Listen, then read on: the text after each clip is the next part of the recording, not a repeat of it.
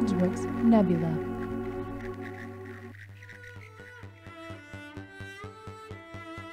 Welcome to You Have My Sword, a Tolkien podcast. In this kickoff episode, we are going to talk about Tolkien himself, who was such a sexy baby that somebody kidnapped him. Think I'm joking? Let's talk about it. John Ronald Reuel Tolkien was born on January 3rd, 1892 in Bloemfontein, South Africa. His parents were Arthur Reuel Tolkien, who was an English bank manager, and his mother was Mabel Suffield. Arthur and Mabel had left England when Arthur was promoted to head the Bloemfontein office of the British bank that he worked at. Tolkien had one sibling, his younger brother, who was named Hilary Arthur Reuel Tolkien. Tolkien's mother, Mabel, taught both her kids at home. Ronald, as he was known in the family, was an attentive and highly academically interested child, which I think is a nice way of saying that he was a fucking nerd.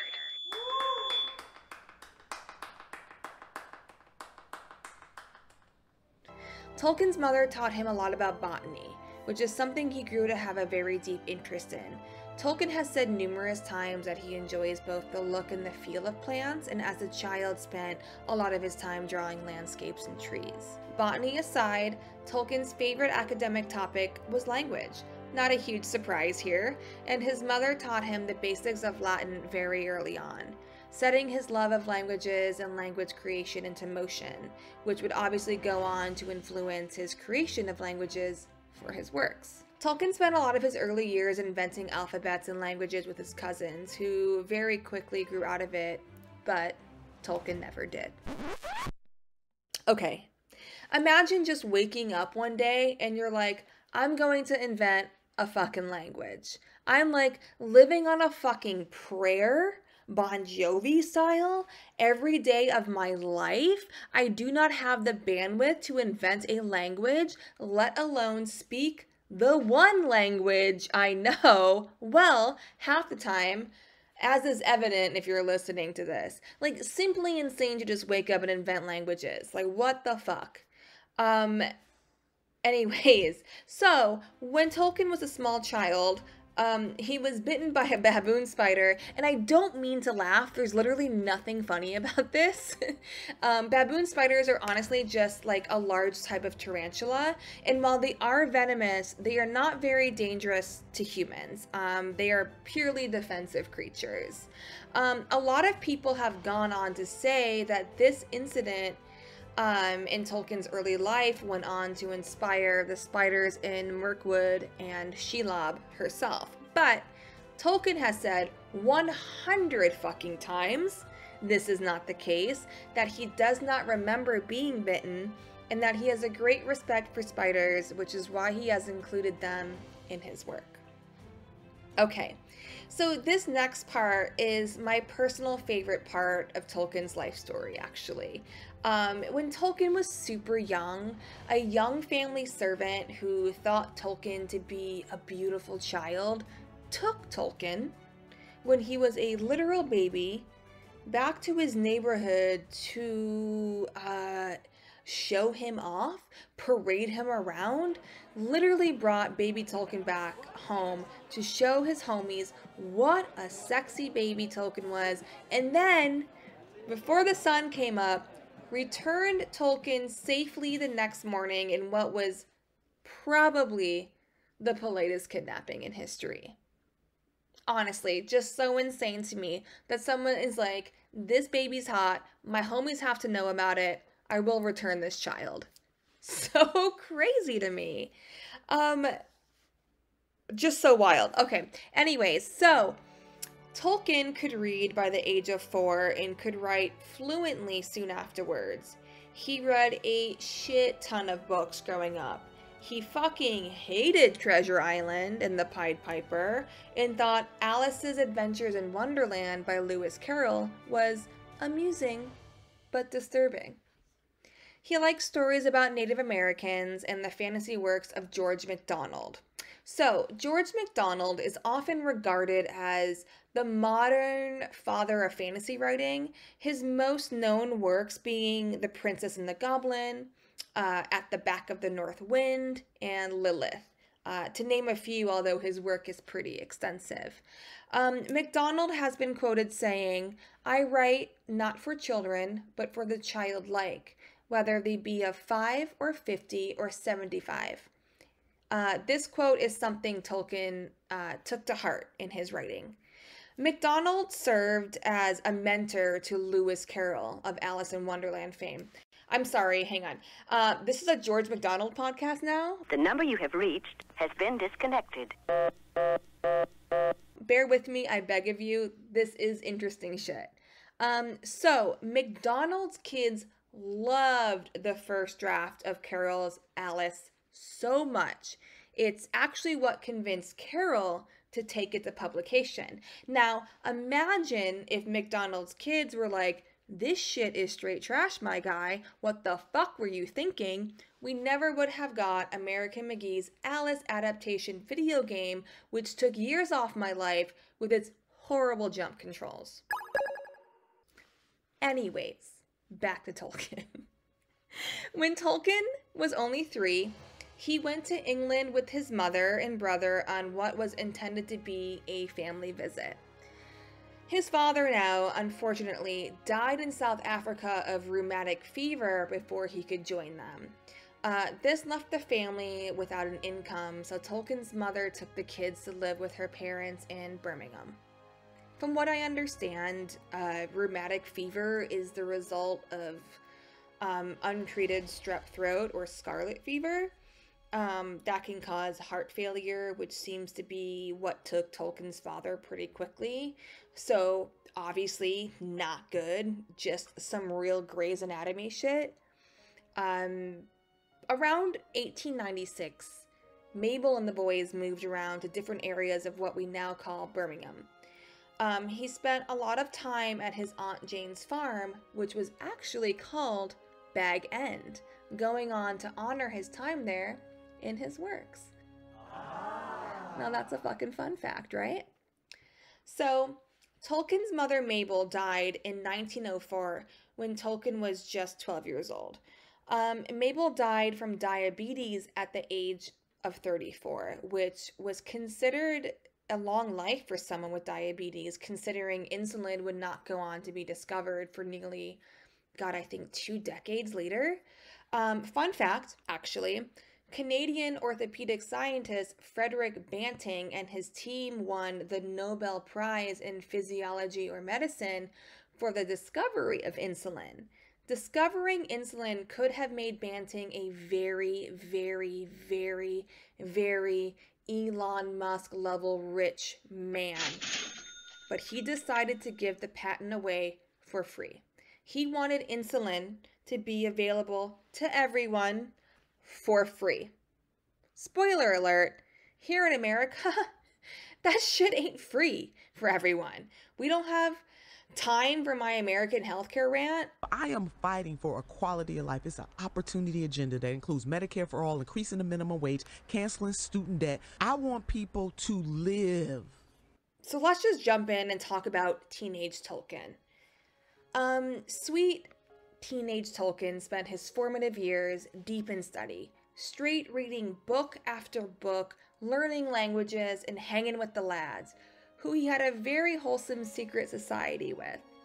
Tolkien and his three best friends had a club called TCBS, which stood for Tea Club and Barrovian Society, where they'd often meet to drink tea secretly in the school library.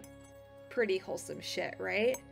These friends in his club, in particular, had a huge impact on his love and pursuit of poetry. In 1911, Tolkien went on a summer holiday in Switzerland, a trip that he recollects vividly in a 1968 letter noting that Bilbo's journey across the Misty Mountains is directly based on Tolkien's adventures with a party of 12 as they hiked from Interlaken to Lauterbrunnen, I hope I said that correctly. Tolkien would go on to explore so much of Switzerland that he cites one of his greatest regrets is ever leaving. No surprise that he tried to capture some of the landscape and memories in his work.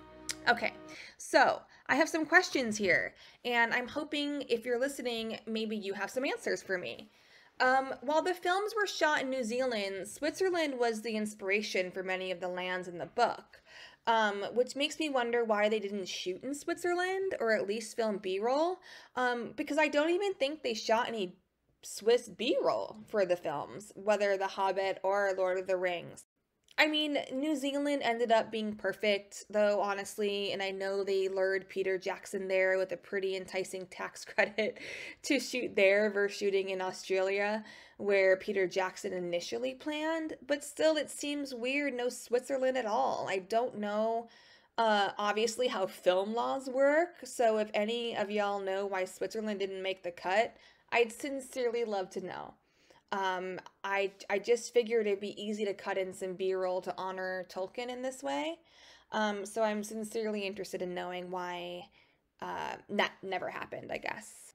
Anyways, now we are going to jump tits first into Tolkien's love life, which is romance in the truest sense of the word. I could probably do an entire episode on this romance alone, but we can save it for the Beren and Luthien episode.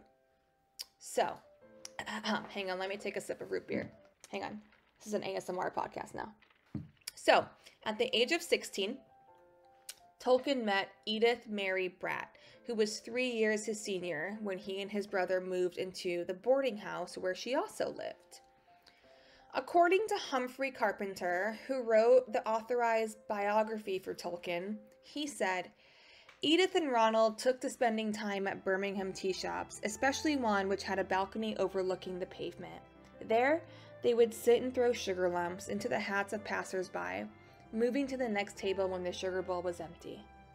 With two people of their personalities and in their position, romance was bound to flourish. Both were orphans in need of affection, and they found that they could give it to each other. During the summer of 1909, they decided that they were in love. Just like that. Okay. Just like give me a minute. This shit turns my brain into a fucking serotonin factory. So, Tolkien's guardian, uh, Father Morgan, I don't know if I mentioned this, but when Tolkien's mother passed away, she assigned guardianship um, of both her sons to her close friend, Father Francis Morgan. Um, Mabel told Father Morgan that her wish was that he bring the boys up as quote unquote good Catholics. Father Morgan considered it quote unquote unfortunate that his surrogate son was romantically involved with an older Protestant woman. Some real Romeo and Juliet meets the Holy Wars shit going on here. Tolkien wrote that the combined tensions contributed to him having done poorly on his exams. So, Father Morgan banned him from meeting, talking to, or even corresponding with Edith until he was 21. Tolkien obeyed this, with one notable early exception, um, over which Father Morgan threatened to cut short his university career if he did not stop. Uh, so, needless to say, that Father Morgan was the cock blocker of the century. For real. But on the evening of Tolkien's 21st birthday, he wrote to Edith, who was living with a family friend named C.H. Jessop. Tolkien declared that he had never ceased to love her and asked her to marry him. Edith replied that she had unfortunately already accepted the proposal of a man named George Field, the brother of one of her friends. Edith said she had agreed to marry Field only because she felt quote unquote on the shelf and had begun to doubt that Tolkien still cared for her. She explained that because of Tolkien's letter, everything had changed. Okay, like, fuck. Imagine waiting days for answers here. Confessing your love, all right? Confessing your love and proposing then being left on unread purely because logistically you can't get an answer faster than a week or two due to the postal system then. I mean, it feels way more romantic than some dude texting you after a couple years to tell you he's ready for a relationship now, which is the story of my fucking life. But I digress. On January 8th, 1913, Tolkien traveled by train to Edith's and was enthusiastically met by her on the platform. The two took a walk into the countryside and talked.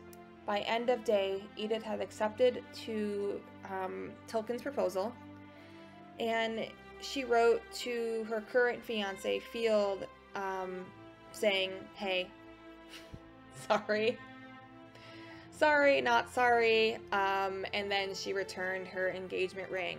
Um, Field was obviously upset at first, and the Field family was insulted to say the least. Um, people had a lot to say about her marrying Tolkien, saying shit like that while he was a cultured gentleman, he had no life prospects or skill that would put him in a position to to ever marry which I feel like is insane. Obviously, uh, we all know who he grows up to be, so this is is uh, quite funny. Edith Bratt and Ronald Tolkien were formally engaged in Birmingham in 1913 and married at St. Mary Immaculate Roman Catholic Church in Warwick on March 22nd, 1916. Why do churches have the craziest names I've ever seen? Just that's just too many words. It's too many words. We don't need that many words. It's a church. Just say, hey, they got married at a church. Fuck. Sorry, I'm drinking root beer again. If you subscribe to my Patreon, you can see the video episode and you can watch me drink root beer. That's for real. Okay, for real though. In his 1941 letter to his son Michael, Tolkien expressed admiration for his wife's willingness to marry a man with no job, little money, and no prospects except the likelihood of being killed in the Great War. He has said that he saw that Edith was real, much realer than most people he had ever met. Ah, my fucking heart just shit its pants honestly, hand to God, just so sweet, so romantic. I think for most people, we wish to be seen in a similar way, or just to be seen in general. And this kind of romance feels antiquated, but it also just doesn't exist in the same way anymore. Ugh, it just is so good. I love it. So, in August 1914, Britain entered the First World War. Tolkien's relatives were shocked when he elected not to volunteer immediately for the British Army, which is crazy to me, obviously.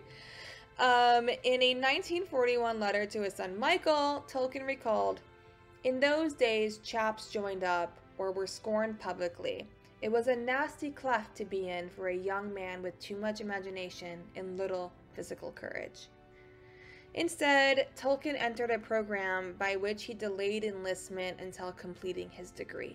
Now, by the time he passed his finals in July 1915, Tolkien recalled that the hints were becoming outspoken from relatives. Straight up, his family was calling him a pussy behind his back because he didn't want to stop doing what he loved to voluntarily run off to die. Eventually, he did go, though, as there was no way around it, and he actually became um, a lieutenant. Uh, in a letter to Edith, Tolkien complained Gentlemen are rare among the superiors, and even human beings are rare indeed. Following their wedding, Lieutenant and Miss Tolkien took up lodgings near the training camp. On June 2, 1916, Tolkien received a telegram summoning him to Folkestone for posting to France. The Tolkiens, which is so cute to say, I fucking love that. Uh, the Tolkiens spent the night before his departure in a room at the Plough and Harrow Hotel. He later wrote, Junior officers were being killed off, a dozen a minute. Parting from my wife then, it felt like a death. While waiting to be summoned to his unit, Tolkien sank into boredom. To pass the time, he composed a poem entitled The Lonely Isle, which was inspired by his feelings during the sea crossing to Calais, France. To evade the British Army's postal censorship, he developed a code of dots by which Edith could track his movements. So, not only is this motherfucker romantic as hell, he's developing like a code language so his own wife can keep track of where he is. He found himself commanding enlisted men who were drawn mainly from mining, milling, and weaving towns. It's been said that Tolkien felt an affinity for these working class men, but military protocol prohibited friendships with other ranks. Instead, Tolkien was required to take charge of them, discipline them, train them, and probably censor their letters, if possible. He was supposed to inspire their love and loyalty, which Tolkien had a hard time doing. Tolkien later lamented the most improper job of any man is bossing other men. Not one in a million is fit for it, and least of all those who seek the opportunity. And honestly, some people really need to hear that shit for fucking real. Especially in our current climate, if you are someone that is seeking power, you deserve it least of all. Thank you, Tolkien. Fuck! God, fuck. so sorry. I'm gonna drink some root beer and we're gonna carry on. Listen, A&W, if you're listening, feel free to sponsor me. I fucking love root beer. Huh. So Tolkien arrived at the Battle of Somme in early 1916. Um, Tolkien's time in combat was, as anyone could imagine, an incredibly stressful time for Edith, who feared that every knock on her door might carry news of her husband's death. Edith could track her husband's movements on a map of the Western Front, and while Tolkien was in the trenches, it's been said that he and his brothers were eaten by quote unquote hordes of lice, which honestly sounds so horrific to me. Like, truly so horrific, these conditions. On October 27th, 1916, as his battalion attacked Regina Trench, Tolkien contracted trench fever, which is a disease that is carried by lice. He was sent back to England on November 8th, 1916. Many of his dearest school friends were killed in the war. Among their number were Rob Gilson of the Tea Club and Barrovian Society, who was killed on the first day of the Somme while leading his men into battle, which just truly heartbreaking. And then fellow TCBS member Geoffrey Smith was killed during the battle when a German artillery shell landed on a first aid post which is uh, was just so sad. These are Tolkien's friends, and you know there really is such a thing as like survivor's guilt. And I did some research, and I don't ever really see Tolkien touching on that too much. Um, I can't imagine he didn't feel it, but maybe he just didn't talk about it. But I can only imagine, um, you know, the weight he bared from from surviving. Um, so Tolkien's battalion was almost completely wiped out following his return to England. Again, just the guilt. Can you imagine? Like war is just so insane and it just does so much psychic damage to you. Ugh.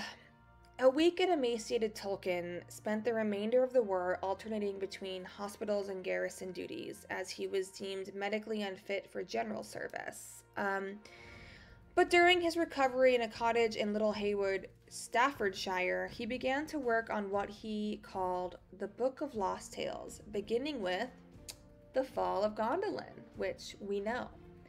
Lost Tales represented Tolkien's attempt to create a mythology for England, a project he would abandon without ever completing. Now, he may have abandoned this, but he did kind of take a lot of what he did in the Lost Tales with this mythology and kind of bring a lot of that over to Lord of the Rings. So we do kind of get some of that, and we will talk about some of that in other episodes. Um, but I do think it was really cool for him to kind of sit down and think of a mythology for England in the way that, you know, Norway has Norse mythology. I think that's really, uh, just really compelling. Uh, so Tolkien was promoted to the temporary rank of lieutenant on January 6, 1918. When he was stationed at Kingston upon Hull, he and Edith went walking in the woods nearby, and Edith began to dance for him in a clearing among the flowering hemlock. After his wife's death in 1971, Tolkien recalled, I never called Edith Luthien, but she was the source of the story that in time became the chief part of the Silmarillion. It was first conceived in a small woodland glade filled with hemlocks. In those days, her hair was raven, her skin clear, her eyes brighter than you have ever seen. And she could sing and she could dance. But the story has gone crooked, and I am left, and I cannot plead before the inexorable Mandos. Ah, God, that literally makes me want to cry. It's just so romantic the way that he talks about Edith and the way that he talks about uh, losing her. For context, Mandos is essentially an all powerful being that could grant those in purgatory life again, um, but is rarely moved to do as such. So, Tolkien wished that he had a Mandos to beg to, to essentially bring Edith back.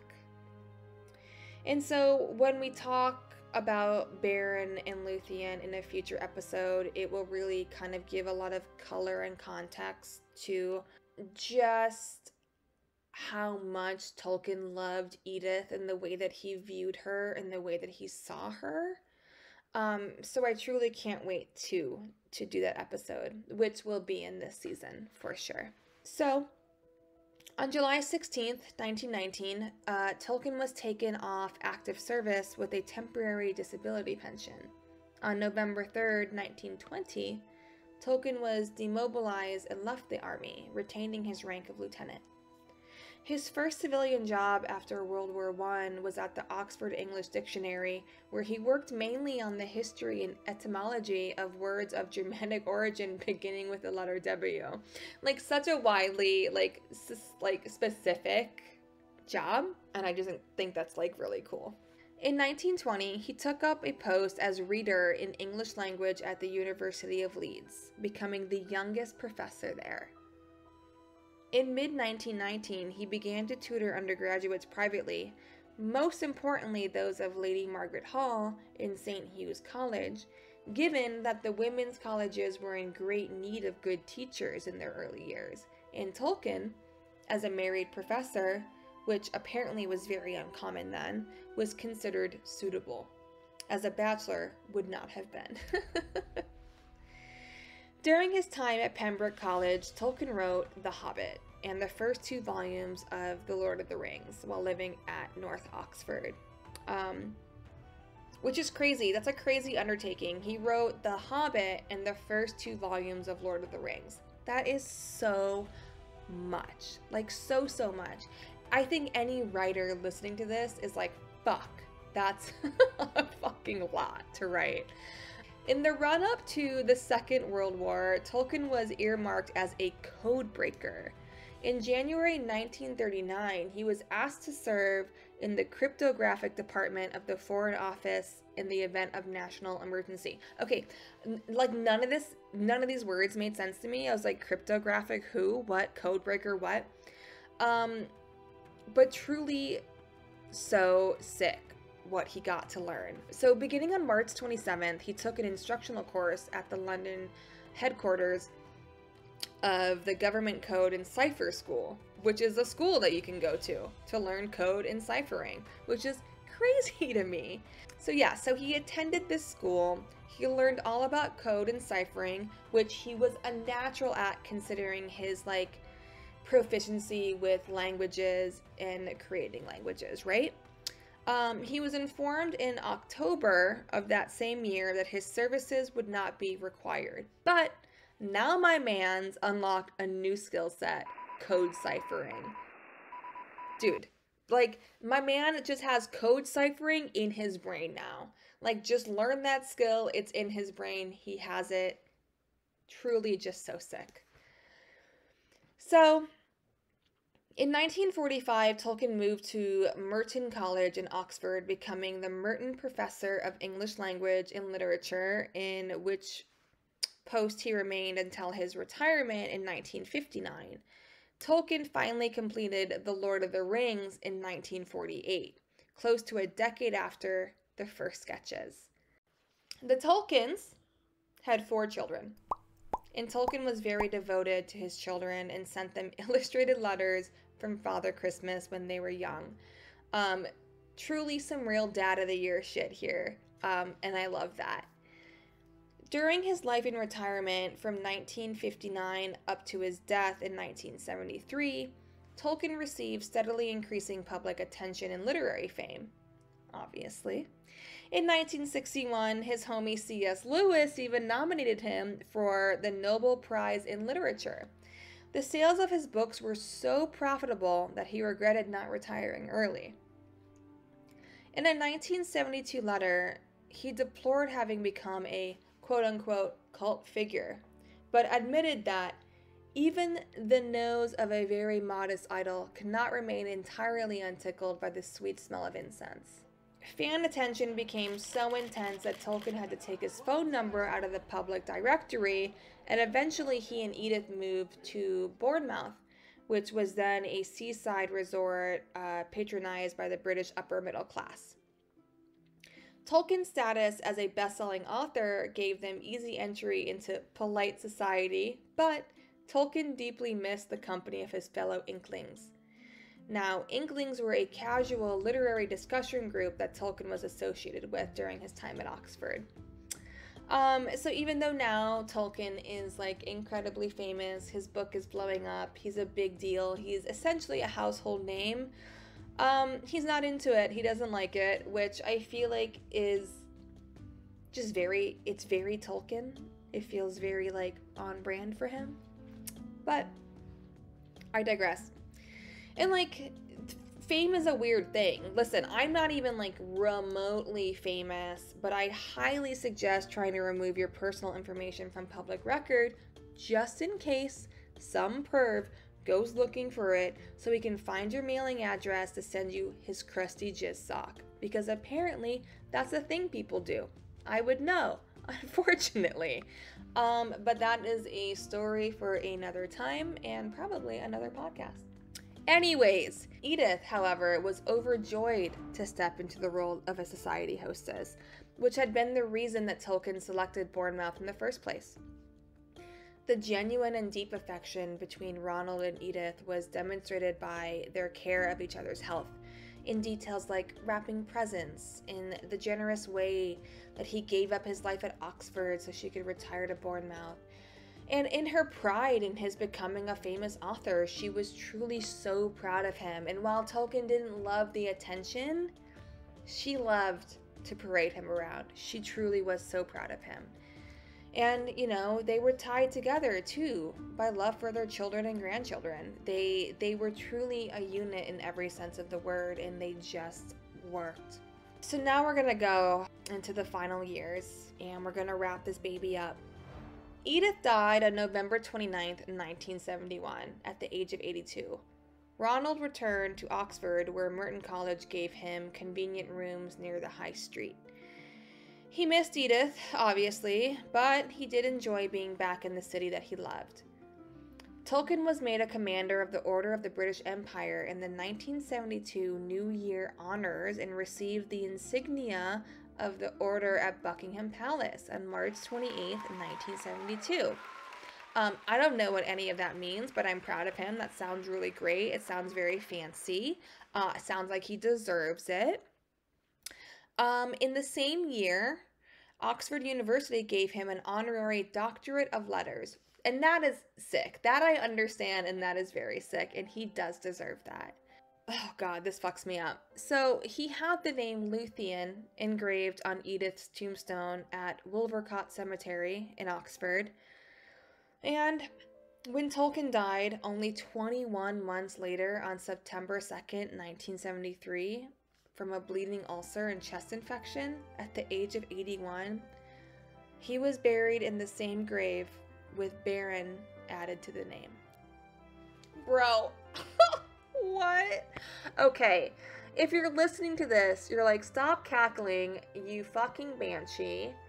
Um, but if you're watching this on the Patreon, I low key, high key, fucking crying it is like just so beautiful to me and like what like truly fucks me up about it is like you know edith Edith knew that Tolkien loved her, right? Like she knew that. There's no doubt about it. But she didn't know about Beren and Luthien and she didn't know that she was the inspiration and she died not knowing that he would pay homage to her in such a way. Like she had no idea that that Luthien was going to be on her tombstone or that Tolkien was going to share a grave with her. Like it's I don't know. There's just something like so deeply romantic and poetic about it. And maybe I'm a sucker. No, I, I definitely am a sucker for this kind of stuff. Um, I love romance when it's done right, and this is is is done right. Like their romance is perfect. Um, yeah. So fucking don't DM me unless you're on some shit like this. Is what I'm saying. Well, that actually wraps up the life of Tolkien, and there are so many things I'll go into more detail on in future episodes, like language and the full story of Beren and Luthien. But wow, fuck me, right? What a ride. So tell me what you guys learned, and if you didn't learn anything, well, it must be cool having such a big brain. Good for you. Thanks for listening to me essentially read Wikipedia at you, and I hope to see you stay with me. In fact, I am begging you to stick around. And you can find all of our social and Patreon information over at www.youhavemyswordpodcast.com. And before I go, I'd like to shout out another Tolkien creator for you to check out. Um, this is something I'd really like to do at the end of every episode is kind of pass you on to another Tolkien creator. And um, I'm really excited about this guy. He is certainly one of my favorites. He is a charming Tolkien historian on TikTok, and his TikTok handle is New Betta Do Betta, spelled B E T T A and this motherfucker goes so hard. We love him. Go send him some love and repost his shit, please. And remember, just like Aragorn said, when you're here, you're family. Just kidding, this isn't an Olive Garden, but the breadsticks are still unlimited. But for real, thanks for listening. And remember, you have my sword. Oh my god, Rachel, we have done it. Cue up the outro music. Do we have outro music? Can we play Venga Bus? How does music licensing work? I don't know. Play whatever you want, Rachel. I appreciate you. Okay, bye!